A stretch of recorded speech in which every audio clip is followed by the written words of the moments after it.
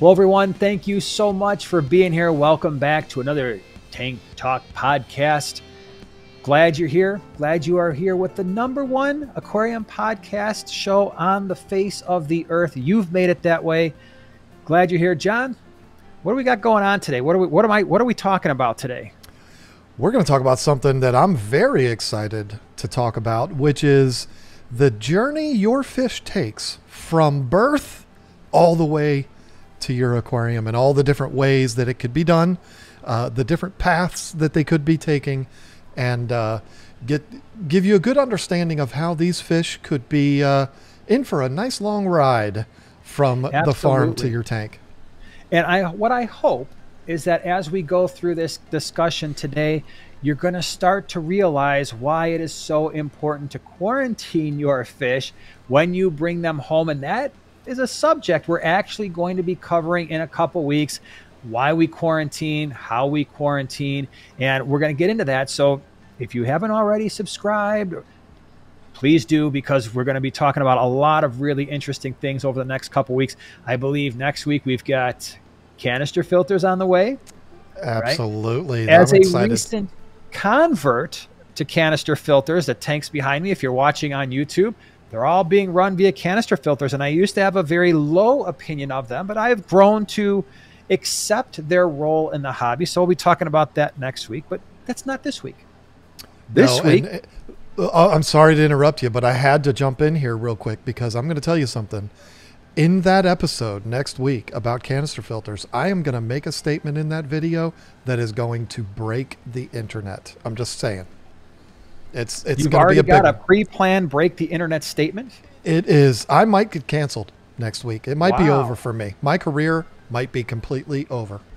So well, be, I, be tuned I in for that. I look forward to watching that destruction. So, well, you're coming down with me, so. I don't think I plan to make a statement that's going to break the internet, but I just can't claim that. Well, who knows? Maybe that will happen. So, in today's subject, yeah, today's subject, what we're talking about is the pathway from where your fish are born to your aquarium. And like John already mentioned, there are a few different ways, two different, a few different pathways that your fish can take uh, with the eventual resting place or hopefully uh, swimming place in your aquarium. I think perhaps the most common one when you're just talking about the vast majority of tropical fish that you would find at a local fish store or your big box store it doesn't start in your state. It doesn't even start in the United States. Mm-mm. It actually starts overseas. And you might be surprised to learn the overwhelming majority of fish that are supplied in the aquarium hobby originate somewhere on the other side of the earth. And there are lots of different places that they can originate, depends on the types of fish. If you are looking at a lot of your tetras, maybe some of your specialty plecos and some of your cichlids. Well, South America might be a place that they originate, especially if you're talking about angel fish, fish and apistogramma and some of the rams. But even there, that's still not the vast majority of the fish. Most of them are coming from different parts of Asia, believe it or not. Even a lot of those tetras and cichlids I just mentioned, they often breed them in large outdoor facilities overseas. And it's a very, very economical way to do that. We talked a few weeks ago, it was a really good discussion on breeding for profit. And in that video, uh, that podcast, we talked about how it can be really challenging to breed fish in the United States, especially if you're in the northern part of the U.S., where you don't necessarily have the outdoor um, the option to breed fish outdoors. It can be really challenging, and the reason for that is, as we think about where fish are coming from, at least a lot of the fish that we get in the hobby, well, they're coming from these large outdoor facilities in places like Singapore, Indonesia, Vietnam. Believe it or not, even some parts of the Middle East. Mm-hmm. Uh, what else? Uh, I'm missing a whole bunch of them. Thailand. But that, what's that? Thailand. thank you very much. I knew I was missing a major one. Thailand is another one. So, and what's happening is you've got all of these little farms everywhere, and they are breeding certain types of fish, and that's really where they originate. And so, if we pause for a second, we have varying water parameters based on where these fish are being bred. You know, as, as an example, you, you think about some of the livebearers, especially the mollies and the swordtails. Sometimes those fish are actually bred in brackish water outdoor ponds. And then eventually we try to convert them to fresh water. It's just an example of why sometimes that doesn't work. Now, so we've got all these these these fish outdoors. They're in these outdoor ponds, varying different types of water parameters. Maybe the temperatures are a little bit different. What's going to happen is these fish breeders are then going to bring these fish to an exporter. And you've got an exporter that's going to get them all bagged up together. At this point, they might be experiencing different water parameters from where they're being exported to where they were originally bred. And one of the things I think we should understand is every time we are transporting fish, that creates stress, right? I think we get stressed, John. And when you have to hop on a plane and go somewhere, it's a little stressful for us, right? We got to pack, figure out everything. Well, for fish, this isn't even something that they're planning. This is something that's just happening to them. And so they're going to go from their origination to their exporter. Then what's going to happen is the exporter is going to ship these fish over the big blue ocean, and they're going to wind up at an import facility. Often, with these import facilities, they're going to go through inspection. They should be going through inspection. They very well may be rebagged at this point because if they've been in transport now for a couple days, going from the the exporter to the importer, they're looking at the bags, they're inspecting them. Uh, one, to make sure that the fish that are coming into the country are legal. So you're going to have that aspect, governmental inspection. But then the importers, if they're doing their job properly, they're going to be looking at the fish and be like, okay, did everything show up alive? What kind of condition are they in? Do we need to rebag them? Or maybe what they're doing is they're putting them in temporary holding tanks so that they can fulfill orders from all of the wholesalers across the country who have ordered fish. So at this point, we've already got transit of at least a few days and potentially three different sets of water parameters. Once the fish are at the importer, now they are put in hopefully new bags and they're going to be shipped out to usually wholesalers. And the job of the wholesalers, these facilities are huge. In fact, I did a tour of one of the wholesale facilities in our area, APET. It's a very, very large facility, thousands of tanks. And so a lot of these fish from the importer are going to go to wholesalers throughout the United States, where now we are dealing with what? What potential water parameter number four. And again, more transport. So that might take another day or so to get from the importer to the wholesaler. There, these fish are going to sit in tanks for, it depends on how popular the fish are, anywhere from maybe less than a day to a week or two or more. Depends on the wholesaler, depends on the, the market. Those fish are then going to travel from a wholesaler to a pet store. That's usually just going to be a, a uh, usually a one day thing. Now we're dealing with potential water parameters number five, right? Another new aquarium. And then finally, you show up. you show up to your pet store, and here's those fish that you expect to be in awesome condition and just looking great and full of color and they have basically traveled more in the last seven days than you may travel in your entire life times 10. So they get to the pet store. Now you buy them, you take them home. They are now potentially in fish tank number six with different water parameters and different setup. And so that is a general overview of how some fish travel through the system. Now there are other ways, uh, and John, I'll let you speak to this. What what you're familiar with, some of the things that you have seen as well. Well, yeah, the, the interesting thing about it is when I talk to people who don't know how all this works, a lot of times what they think happens is uh, my friend Mark, your, your friend now too, Mark from Aquariums Unlimited has a store in Virginia Beach and uh, he orders them from Indonesia and they get shipped directly to him. Mm-hmm. No, that's not how that works. There's so many more people involved uh, whether it's transshippers or just importers and distributors. And there's so many steps to this process. It's very, very rare that you find a pet store that's dealing direct with the fish farms. They're out there, but most of them are going to be buying them exactly how you just said. Uh, sometimes dealing with a nationwide distributor like a Segrest Farms or a Sun Pet or something like that. Uh, but a lot of times dealing with local distributors that are uh, driving truck routes. So, you know, uh, Mark from Aquariums Unlimited, he buys a lot of his fish from a distributor that I also use. Um, and so his fish, rather than being shipped through a freight system or, or UPS or something like that, the the distributor loads them up in his own van, brings them out. Um, but they're not coming direct from the farm. They're not coming from a major nationwide distributor. They're coming from a local person. But you know, most people just think that the fish are just sent directly to the fish store, uh, and they're certainly not. And a lot of people, I certainly encourage everyone to buy uh, fish from your local mom and pop store. But if you're ordering online, a lot of people are afraid. Well, isn't that going to be super super stressful to ship the fish through FedEx or UPS? do you know what these fish have already been through? I mean, they have been through, they've gone for a ride already halfway across the world. If they can withstand that, they can withstand a little trip from North Carolina to Missouri. You know, it's not that big of a deal. Um, right. But it, it's no wonder that quarantining, like the episode we're going to be doing coming up, uh, is so important. And it's also no wonder that sometimes you get fish and they're maybe not in the best condition. They don't look like the ones you see in the magazine. It's because they've been through uh, a, a, an unbelievable ordeal. I'm not saying abused or tortured, but just the whole process of getting from A to Z is uh, is quite a bit, and uh, it can stress them out, make them want to fight each other, uh, just like you want to do when you go flying on an airplane. You want to fight everybody. If you're anything like me, you want to fight everybody by the end of that day. Well, I, I, guess yeah, that that can happen.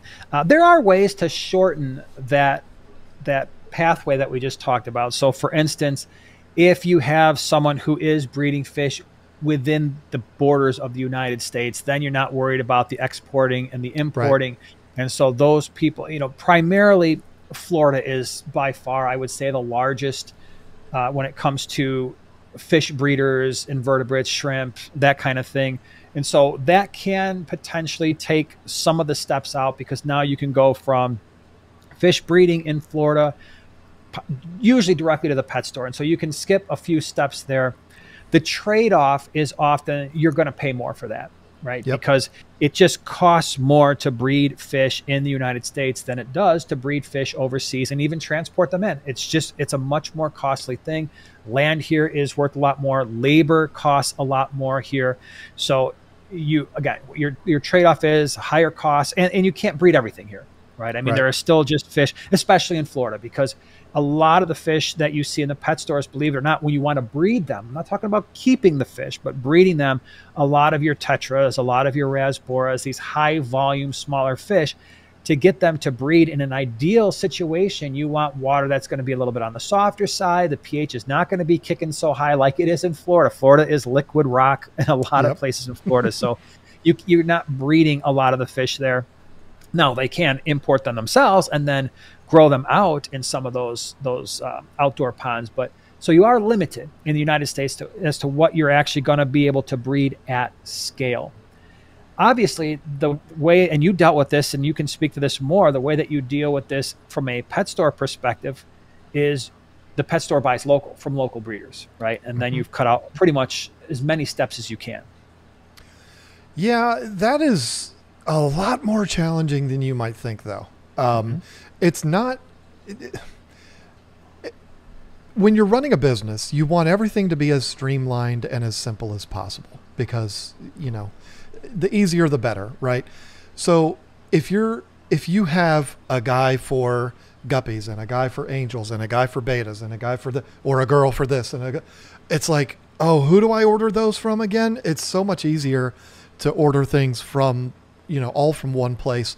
But we did have a couple of um, of people that we dealt with that were breeding specific types of fish. We knew where they were coming from. They we knew they were good for our water, so that's a bonus. You mentioned that in our breeding for profit episode.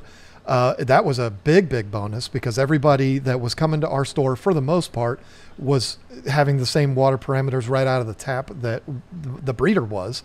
So that worked out really good. But that is a, a difficult thing to do to keep track of all of the different places that you're going to buy from. Uh, but you know, if you got somebody that's doing it right and they're creating a good product, you'll do it. You'll you'll yeah. jump through those hoops to do that.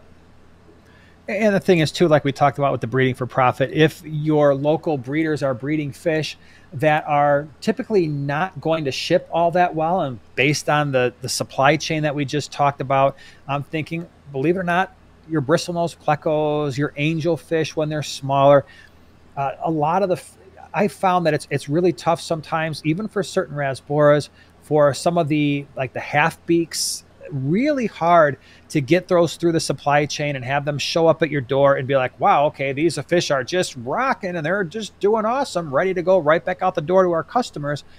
So, yeah, you, you have to be somewhat selective as a pet store in terms of what you're going to buy locally. And the other thing that I'm sure is a headache for people, for pet store owners, is just because there is a source for something local doesn't mean it's always consistent, right? You you have True. people who just they're in the hobby. They they switch their the, what they're breeding. Even if oh, I breed angelfish, well, I was getting these awesome Philippine blues from this guy. Turns out now he's breeding koi's, and that's not what I need because I can actually get those cheaper somewhere right. else. And the other issue too is when you're looking at the cost structure. Unfortunately, sometimes people who are breeding fish they don't realize their competition. And I don't want to get too far into this one because we've kind of covered some of this already, but they don't realize, oh, you know what? Yeah, I'm going to sell you. I'll, I'll, use shell dwellers as an example, the Lake Tanganyika shell dwellers.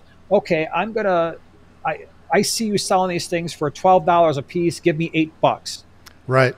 Dude, you understand that. Well, and these aren't even cheap fish, but I could buy them from a wholesaler for less than that. And if I get them imported, I might only be paying two bucks a piece.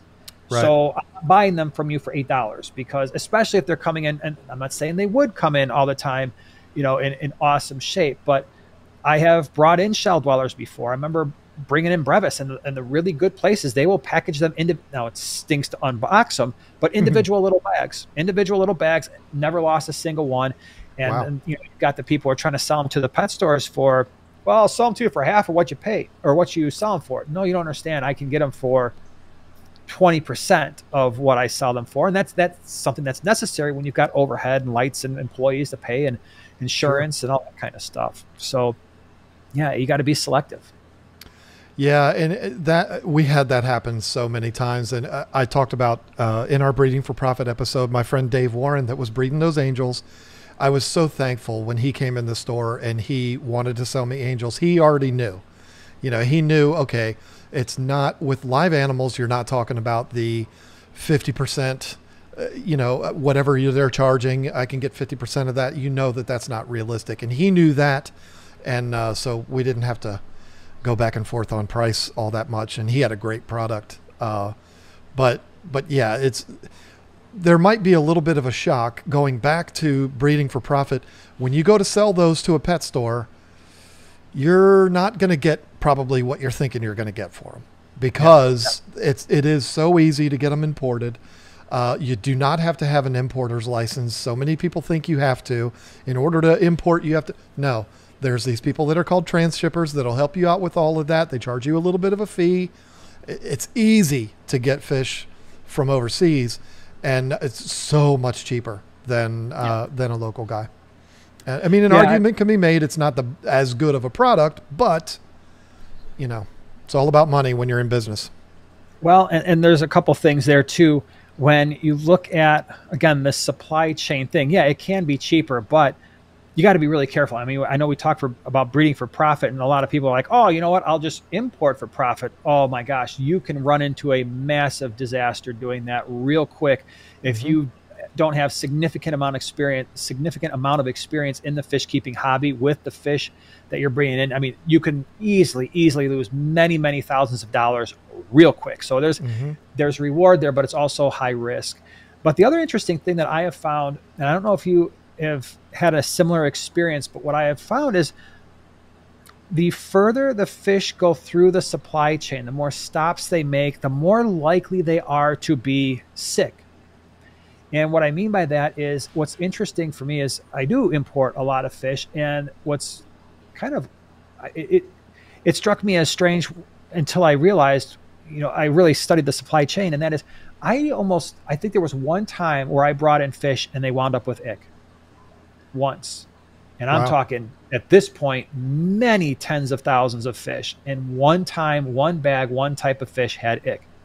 Wow. Turns out, at least it seems to me that what's happening is I'm not necessarily talking about internal parasites or bacterial infections, but as you go further down the supply chain, I think you increase the likelihood of the fish winding up with something. And ick, especially so, the further you go down, I think that problem primarily is lying really close to the, the final end user. That's where that problem happens. And when we do talk about quarantine, a lot of people naturally are going to be like, well, okay, well, listen, why do I have to quarantine for four weeks? Wouldn't it just be better if the importer quarantined for four weeks or the wholesaler or the pet store? And it turns out it's not necessary often for the exporter or the importer, and a lot of times even for the wholesaler, but it really does. That burden should properly be falling on maybe wholesaler, definitely pet store, and absolutely us. The further you go down the supply chain, the more important it is for that that entity or that person to quarantine. But they're not coming out of a lot of these places with a lot of external parasites. They're, they're Right. just not. Now, again, internal parasites, maybe uh, we can. That's a different discussion. But I just haven't found that to be the, the, the case when it comes to the fish that when we're skipping those steps. Yeah, I mean, a, a fish farm wants you to buy fish from them and then buy them from them again. So they're not going to pack, like, look at a pond and be like, oh, all those fish are sick. They're all going to die. Well, I'll ship them anyway. I mean, if they do that, you know never to buy from that farm again. As a fish yeah. store, you would never want to buy from that farm again. But, you know, they're packing you up fish that are in good shape. They're starting out in good shape, but because they go through so much, the water gets foul, things are gross, they're changing water parameters every day. They're they go through a lot. They're susceptible, vulnerable, uh, whatever you want to say, to catching some kind of, of issue. So, Yep. yeah, this is again quarantining. Goes right And- back and- to it. Yeah, and, and you brought up a good point. The throughout the supply chain, people want if they're in the business of either breeding, raising, or selling fish, and so the only way that they stay in business is when they breed, raise, or sell fish that are healthy. So, and it, it is well known when you get into the circles. Hey, you know what? There's there's a number of different places where you can get a neon tetra or a cardinal tetra, but you start to learn okay which locations are the best typically, and then those locations by meaning what, what region do we want to buy these fish from? Considering that the prices are going to be different, the import quantities are going to be different, but then not only that, for that exporter, they need to know which specific farms that is that's allowing them to have that good that good re- relationship and that and and and have a, a a good reputation. That's the word I was looking for, because that the word gets around. Like, oh, you know what? I know we've got five options for cardinal tetras, and I can get them from someplace in South America, and I can get them from three different places across Asia. But this is the place where everybody's bringing them in, and they're doing awesome right? It's and you, you also have to be careful too because depending on where these fish originate, sometimes the water parameters can be drastically different. I remember, I don't know, you know Ted Judy. Of course. Uh, Ted Judy is, you know, he was a, a pillar in the aquarium hobby, and I specifically remember him doing a video. This must have been seven or eight years ago, I think. And what they were doing is they were testing the water parameters. I, I believe, again, it's been a long time. I thought they were Altum angels. There was some type of angelfish, I think. And they were actually testing water parameters. Okay, here's the water parameters of the water when we caught the fish. And it was ridiculously, the pH was ridiculously low. But then it actually went even lower once the fish were in the bag and started producing waste. So I think it was like it started maybe in the fives and got all the way down into like the mid to low fours, if memory serves me correctly. And so then they were making a point.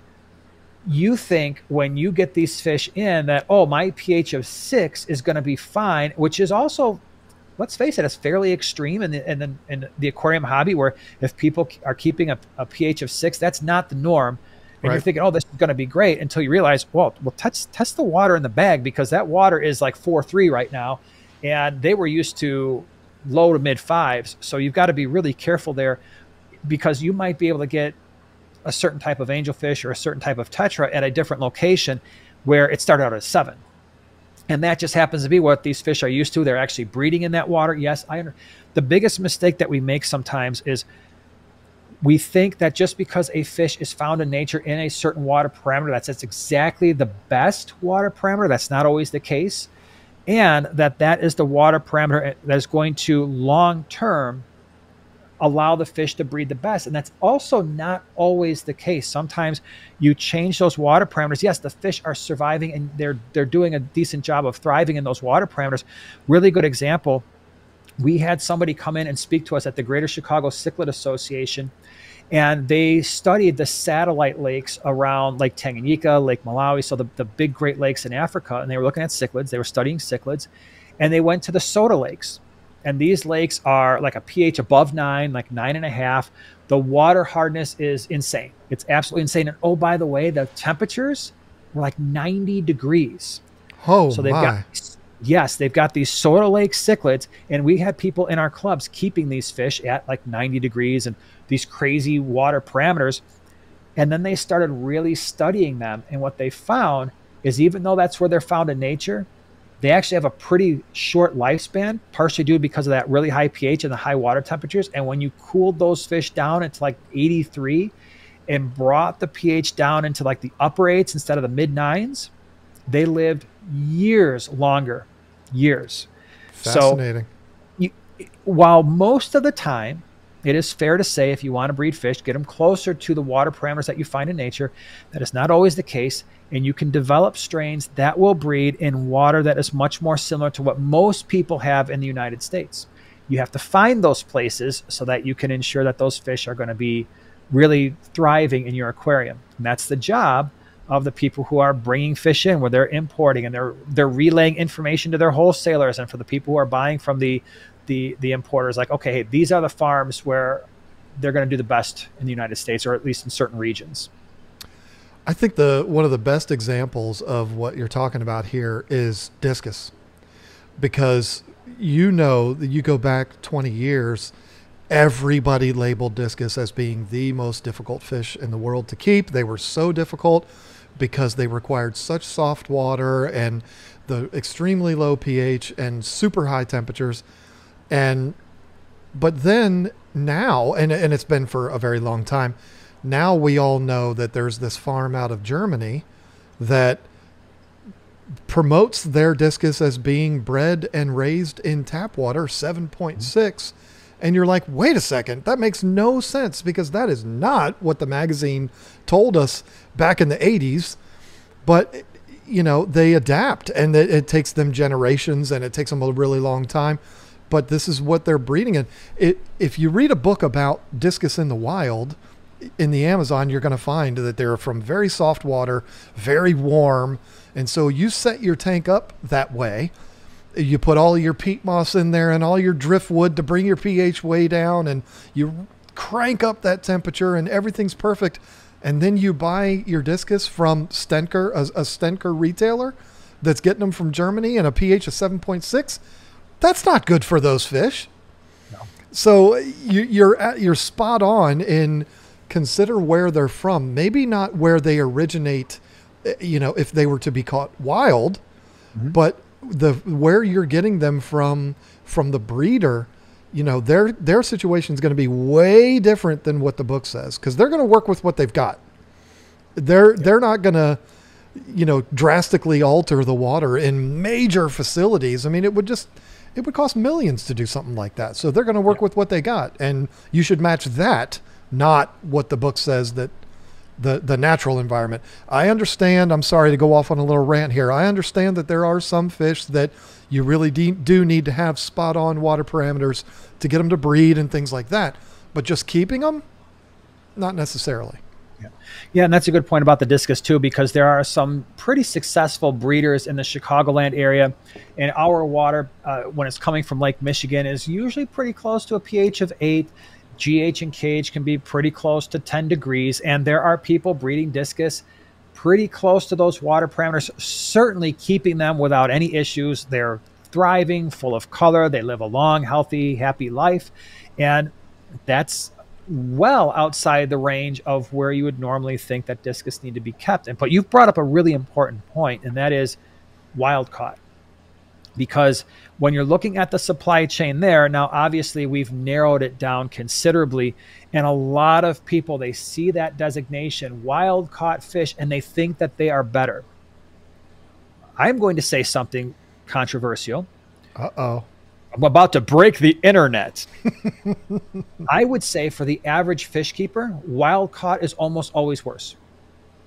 For the average Agreed. fish keeper, wild caught fish are almost always worse.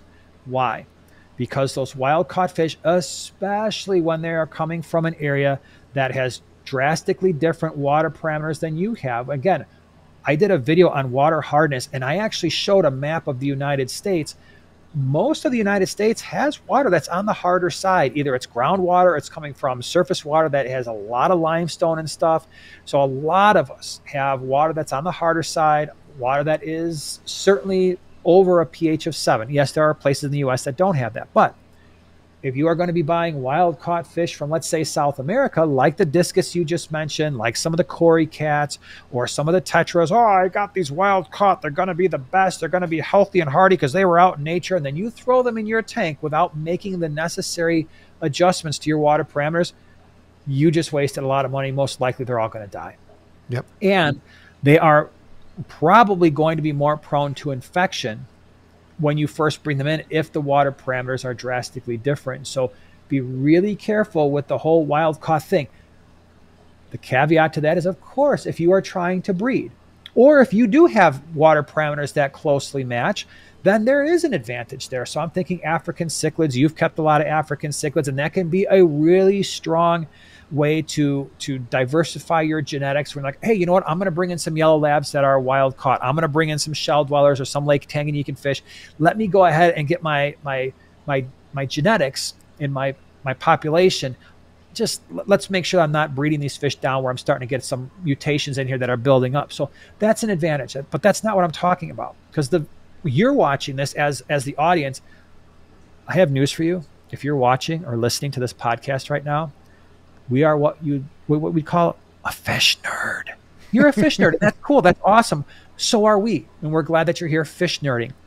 But you are not representative of probably 95% of the fish keeping community, right? That's right. We all nerd out. We're like, Aquashella, yeah, fish club's awesome.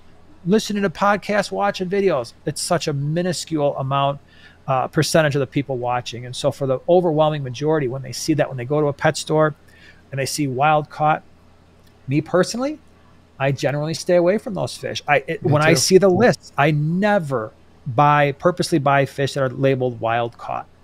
And the reason for that is I know my water parameters, right? And I know that unless they're African cichlids, I can't give these fish the same water parameters. And there is a risk there with wild caught fish that they are going to bring in some type of environmental pathogen that they have, that are naturally immune and you bring them in here and you spread that around your fish room, good luck with that. It only takes yeah. one time for that to happen. You're like, oh wow, yeah, that that was brutal. I don't know what happened. I don't know what the fish had, but it wiped out five tanks. Yeah, I, I've had in my over a decade on social media talking about fish. I've had so many people come to me wanting to drastically alter their water parameters to meet a particular type of fish, to meet what the book says. And I, my response to those people is always, why? Why are you going to do that? Are you ordering these fish wild caught? Well, no. Okay. Well, then you're not going to be matching the water that that fish is used to. What I tell people is the only time you should be drastically altering your water parameters is a if you want to breed or two and that's only some fish um, eh, but two is if you're getting wild caught then yeah. you certainly should, you know, uh, meet what they're used to, make it easier on them, all that kind of stuff. But, you know, going to these great lengths and changing your water parameters up. I mean, some people have horrible water. I, I get it. They have no choice. If they want to keep fish, they have to do that. But most of us regular people that are just getting water out of the tap, you shouldn't be needing to drastically change your water parameters to keep a particular fish. Again, unless they're wild caught. Yeah, and in some in some ways you can't get around it too. So I want to be careful. There are a lot of your loaches. They're they're, just not a lot of these loaches are not easily bred in captivity. So you you know think about especially. I think there have been some reports that maybe people are starting to breed clown loaches now in large outdoor facilities, but a lot of those historically have been wild caught and they do pretty well. I mean, we bring in clown loaches all the time and uh, they are one of the fish that we very rarely have issues with. A lot of loaches we, we just don't have that many issues with. So it's not to say that that's a blanket statement that wild caught is always going to be worse and you're always going to have problems. And but those are also fish that you don't really need to to match the water parameters exactly. Yeah, and, and I mean, if, if we're being honest with each other, I'm just going to tell you straight up. I, am just not a fan of wild caught fish, period. I mean, you're taking them out of unlimited space and putting them in a little glass box. Not a big fan of it. All these fish that I have in my fish house, well, except for the saltwater fish, are they've always been in a glass box. So. Yeah you know the wild we should do an entire episode on wild caught fish at some oh, and point. yeah that you know what we are absolutely gonna i don't know if that's on our list or not. I, it is it is. I i, I bet you it is. number uh 347 on our, our list of things to talk about. But yeah because i did a, a video about that a couple different videos and i actually sat down with um, freshwater exotics and what they do is they bring in plecos from south america that are they have to be wild caught. They don't most of what they're what they're bringing in they don't breed very easily in captivity and so that sparked an entire discussion on wild caught fish. I know you probably talked about it before but yeah that is a a whole separate conversation on whether or not it's a good idea. Sometimes it's it's the only way to get those fish into the hobby but then you could argue then the fish shouldn't be in the hobby right? We just did a video on fish that shouldn't be in the hobby but we approached that video almost exclusively based on the fact the fish we came up with last week were too big for most aquariums or way too aggressive. We didn't even address should certain fish be in the hobby because you can't breed them in captivity and you might be doing some damage to the environment. So yeah, that's a that's a whole other subject. Yeah, the analogy that I like to use, and it always makes people feel really bad, it, and maybe I shouldn't say this. I don't know. I'll think about it, and if it's that bad, maybe I'll edit it out. But I personally am not a fan of keeping birds as pets. Mm. Um, and it's for the exact reason that I was just talking about. You have a bird that is has the world. It can do the thing that every human being at some point has dreamt of being able to do, to be like Kal-El and be able to fly around. You're taking something that can do that and you're confining it to a cage. I'm not a fan you're not a bad person if you keep birds. I'm not against you, and I'm not going to hold a sign out in front of your yard. I'm just saying, me personally, I'm not a fan of that. And I look at wild caught fish the same way. It's like you have this, you know, uh, who knows how big they are. Two thirds of the world is water, and you're confining them to a glass box. I'm not a fan. So I, I think there are a couple exceptions to the birds. One, if you want to keep chickens or ostriches, right?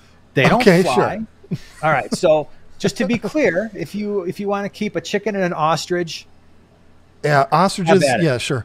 Uh, and we plan on actually keeping chickens, uh, but that's again, yeah, you, chickens aren't going to fly around. If they do fly, they fly for like three feet and they land. That's pretty much the same distance I can fly, so I'm not worried about them. And plus, those things if you that the female your arms hard enough. That's right. If I jump off of a high thing, I can fly about the same distance as a chicken. Plus, I really love what the females produce every single day. I uh, eat them every single day. So, uh, chickens, yeah, there's definitely an exception there. Never even looked into keeping an ostrich, but uh, sure, yeah, that's fine too. yep. Uh, last last pathway I think we we can talk about here because we basically started with the longest path from getting fish to from point A to your aquarium. We briefly mentioned, hey, there are breeders in the United States that are more or less they're they're outdoor breeders, certainly in the state of Florida. So that kind of shortens up the supply chain. We talked about people selling fish from a uh, from their breeding stock to the pet store to your aquarium. And I think the last one is the absolute shortest pathway to your aquarium, and that is you you buy directly from the person breeding the fish right? Mm-hmm. So whether and the shortest shortest way to do that, of course, is buying locally. So if you know a local breeder and you look up on the internet or whatever, hey, who are the who are people selling fish in my area? And you're like, oh, I want these fish. And it just so happens I can drive over there or meet somewhere and they're taking them right out of their aquarium, then putting right in my quarantine tank. That is by far the least stressful, I would imagine, uh, because you're skipping all of the the airlines, you're skipping all the trucks. You've got one car ride from basically where they're uh, have originated. They may have never been caught a day in their life until that day. They're going right in your tank and may never be netted again in their entire life. They've experienced a grand total of two environments, mm-hmm. and possibly if they're local, it's pretty much the same water parameter. So I think that is the absolute shortest short of breeding the fish yourself, but then you've already got them. So what are you actually adding? uh, right. the the intimidating thing I think for most people is how do you find those people and uh, it it's not always as easy as an internet search, but I tell you an easy way to do it is to go. You know, every town has an aquarium club. I mean, mine. Yeah. I have to drive in two and a, two and a half hours to get to our club, uh, which is why we don't go every month. But uh, the Raleigh Aquarium Society is a club that Lisa and I are uh, members of. And you go to one of those meetings, it's funny, you walk away from a meeting and you're like, I feel like I know people that do everything in the fish keeping hobby. Like, yeah. I know the guy, if I need to get this, I can go to him. If I need that, I go to him. It, it's just one meeting, you know, you'll feel like that. Um, yeah. And you also have, and I've done this and it's amazing. It's so much fun if you do find that local guy or girl, um, you have the ability. This might not mean something to everybody, but you have that ability to go to their place and see the parents. Yeah.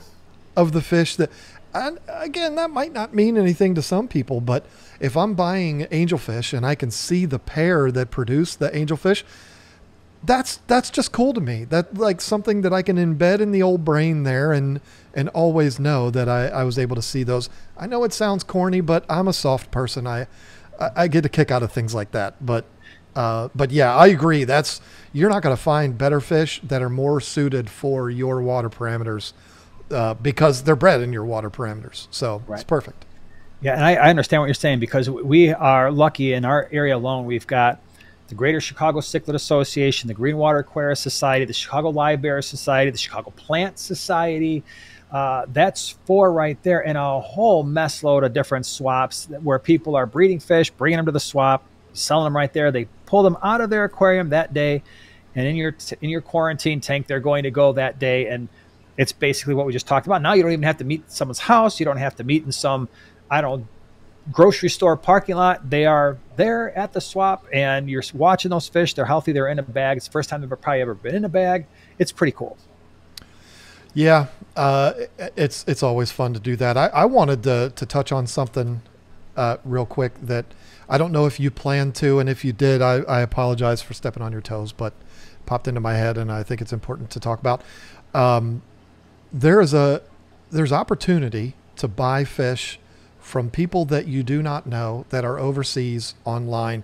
This is particularly prevalent prevalent in the betta community. Um, if you start searching online, there's there's plenty of retailers in the United States that sell online, um, and I would encourage you to order from those. But maybe you're one of those people that wants the perfect betta, this specific type that you've never seen anywhere, and you come across a website that's in Thailand. Uh, you know, everybody knows Thailand is kind of like the mecca of bettas. um, and and you're feeling weird about ordering from this place that there's a language barrier and you, you don't really know how the whole process works. Well, 100% of the time, unless you're somebody that has a, an importer's license, you're going to deal with somebody that's called a transshipper. Mm-hmm. And this transshipper is somebody that is a middleman uh, that's going to get their fee, which means you're going to pay a whole lot more for that betta than you would if you ordered one from a company in the United States or went down to your local mom and pop and bought one. Um, but the transshipper is the one that holds all of those certificates and all of those uh, uh, licenses and stuff like that, can bring the fish in for you, and then we'll ship it to you. Uh, we dealt with a guy out of Dallas that would you know, get the fish from his farm and then ship them to us. But he would also do this for a lot of individual fish orders from just customers, just people that uh, they want to order a betta from this farm and they deal with the farm directly.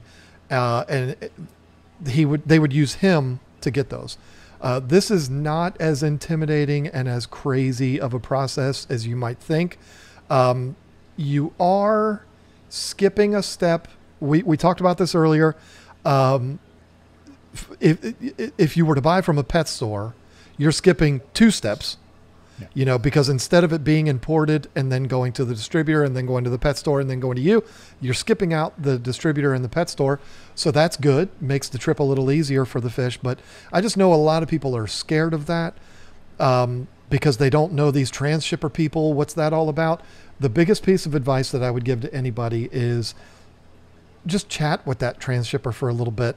I mean, I, I did that. We dealt with four or five different transshippers and uh, and they were all you know we got to know them a little bit we talked with them a little bit and if they're pushy and angry and mean and short with you and stuff well i don't feel like dealing with that person but if they're nice and they're helpful and they explain the whole process and they let you know why there's a fee and why there's all this it makes you feel a lot, lot more at ease with the whole process and it's really not as difficult as you might think and this is not just for bettas. there's so many things that are available. You, you kind of fall down that rabbit hole searching for that perfect fish. You might have to do it this way. Uh, I'm not going to tell you that buying fish this way is better. I don't necessarily believe it is because you're going to pay a lot more.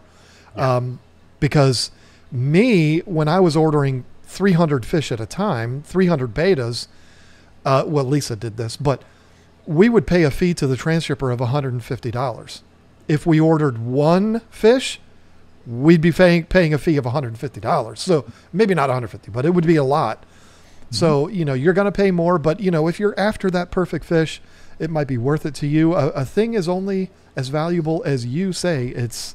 You know whatever you say its value is. So if it's worth it for you, go ahead and do it. It's not as crazy of a system as you might think.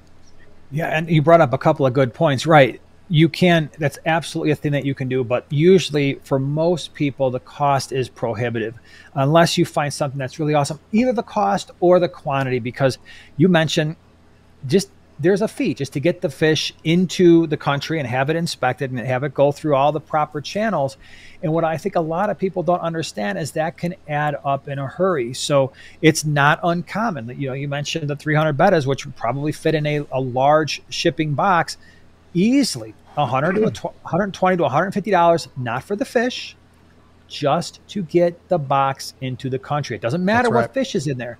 So as an example you might have two or three large fish doesn't matter that was 150 bucks because and, mm-hmm. and probably more because you're actually using more water so you might pay 120 to 150 bucks to get that in and then you're going to have to go pick it up somewhere sometimes you have to pick it up at an airport uh, well, usually you have to pick it up at an airport because those transshippers, if they're just, if you're buying one, maybe they'll ship it to your house. That's an additional fee, right? Besides getting the fish in.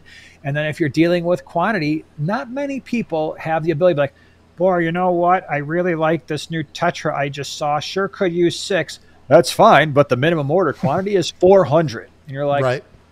$400 times four bucks a piece plus the 150 in the shipping plus the fee that I have to pay at the at the um, the airport to get the fish uh, off the off their dock, and now I've got to find a place for my new 400 fish, and I've got a 29 gallon. So when when you see when when you hear about people who are bringing in fish, massive massive quantities, massive quantities, and again.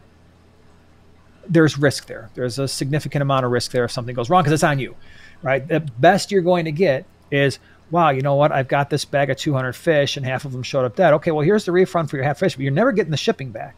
So right. the shipping is, is, you've lost that. And sometimes for some of these fish, the shipping can be more than the actual cost of the fish, sometimes a lot more. So, I mean, you're shipping them uh, overnight overseas. I mean, yeah. it's it's a lot of money. Now, for Lisa and I, I don't know how it is for you, but for Lisa and I, we were fortunate that we were buying fish that ship really well and in very little water. Uh, so a, a box can hold 300 of them, and it would be very not light, but it's not like you need to get a hand truck to to get them through the the room. You know, you can carry them comfortably. Um, but even still, you know, we we'd have to pay the shipping from the farm to Dallas, and then the transshipper fee, and then the FedEx overnight fee from Dallas to us or UPS or whatever it was that he used. So it, it does end up being a lot. And again, this is how this is why you're not paying five dollars for a fish and selling it for ten. Yeah. You're buying, you're paying five dollars and you're selling it for twenty because there's all those other in, uh, individual little fees in there and stuff like that. Not to mention all the unbagging and caring for the fish and all. You got to sure your time is worth money as well. Absolutely. Uh, yeah, absolutely. Yeah. I mean, in, in my particular situation, the fish I bring in, they need a lot of. There's a trade off, right? So the trade off is the more water you put in a bag, the more likely the fish are going to show up in decent shape. So the less for the fish that I keep, you know, if I'm doing a ton of tetras, rasboras, all kinds of stuff. So yeah, it's kind of nice if there's a decent amount of water in the bag, but that added weight, you're getting less fish uh, or less bags in a box. So that's going to increase your shipping costs, but potentially more of your fish are going to show up not unalive. So uh, the, the trade off is when you've got 100, 200 fish in a bag, yeah, you want a decent amount of water in there. Unfortunately, now you're paying a lot more in shipping. So there's always a balance. There's always, and that's where, like you said, when you hook up with the people who really know what they're doing, they know based on the fish, how much water do we need to put in there? How much are we going to, how many fish are we going to put in a bag? Because the other thing to consider too is, yeah, you could order a few hundred fish. They put them all in one bag. As soon as some of those fish start to die, it, it creates an ammonia spike and now they're all gone. Right. Where if you split that into maybe four bags, now you're taking up a whole box. But if a couple of fish die in one bag and one bag goes south, you still have the other three. So you didn't lose everything, or you know, even wind up with 300 fish that are really on the on the edge there. Yeah, I, am really good friends with Discus Hans. I, am sure you're familiar with him. Um, he was the sole distributor of Stendker discus in the United States up until recently, but uh, I was at his place one time when he received a shipment because he was a direct importer. He didn't deal with um, transshippers and all that kind of stuff. He would go to BWI airport, pick them up, and bring, and it would shock you uh, how heavy those boxes were. Yeah. I mean, because you're dealing, you know, he would be bringing in fish that are five inches, and you know, yeah. he would bring in the little ones too. But even the little ones, you'd have 20 in a bag, and one bag in a box, the big mm-hmm. box because they're delicate, they're discus, and you know, you're not going to stick 400 of them in one little ga- gallon size bag. Right. Uh, it was crazy the amount of money he had to pay for shipping from Germany to Baltimore. Uh, absolutely outrageous. But the good yeah. thing for me was uh, the bettas, you know, the farms would basically, the farms knew how much it cost to ship to Dallas because they dealt with the transshipper that I dealt with so they knew they would be like, okay, if it's if you buy a hundred fish, it's this much, and that includes shipping to the United States. Uh, or if you buy this much, they would have it all broken down like that. So that made it easier. But yeah, it's complicated. But at the end of the day, it's like a Mac computer. You're intimidated by it when you first look at it, but then once you learn how to use it, it's really, really easy. Yep, very true. so, uh, yeah, I think uh, again, if you've learned anything from this discussion, it is quarantine your fish. We're going to get into how to do that, like I said, in a couple weeks, because you just you don't know necessarily what path that fish has taken to finally get to your aquarium. If you quarantine, if they're stressed out, it gives them a place where they don't have to deal with competition for food as much. They don't have to deal with other fish. They don't have to deal with fish that are maybe slightly aggressive. And now it's like, oh my gosh, I just went through the worst period of my life. And now I've got fish chasing me around because they're slightly territorial or I'm trying to figure out a new environment. Give them a nice low light area where they can just chill out, where you can observe them, be patient. And again, we'll talk about all these things in a couple weeks. And then they will be a fish that you'll enjoy for a lot longer. Agreed. And I, I will have a couple of personal uh, nightmare stories about not quarantining. Uh, so those should be fun. We've all done it. We've all done it. So Everyone, thank you. Thank you again for being here. Really appreciate it. We will be back same time, same place next week. We're going to be talking about canister filters. It's going to be awesome. Thanks for being here. Yes, indeed. Thank you. We'll see you next week.